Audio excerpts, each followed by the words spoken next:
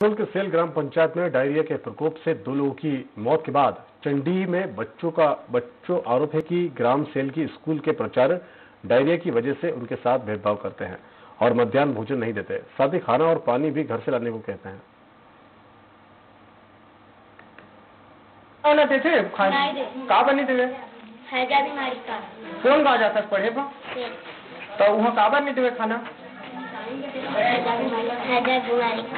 तो खाना तो कहाँ ले ले पा खाता है घर से टिफ़िन लेके जाता है बीमारी के कारण खाना नहीं देवा पानी उबले पानी मंगाते अच्छा कौन गाँव भी था? कौन स्कूल में पढ़े जाता तो? फिर स्कूल में पढ़े जाता चंदी भी गाँव में और स्कूल के लड़का लड़के सब काम करते। च- चंदी दी की लड़की माँ ए, बीमारी फैलाया है तो वहाँ फैले हुआ वहाँ घर से खाना लावा और बोरिंग में धन छुआ तुम्हारा भात नहीं मिल जाए ऐसे कथे और दूजा भाव करा से मोर लड़का से मौके मतलब सब लोग खाना मिलते।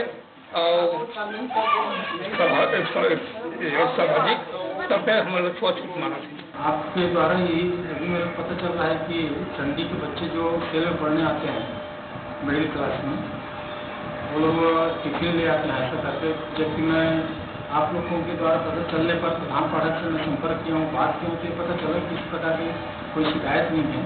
मध्याह्न भोजन वहाँ पड़ रही है और चलने वाले बच्चे भी सेवा वाले बच्चों के साथ बैठकर मध्याह्न भोजन कर केवलारी के एक स्कूल में बच्चों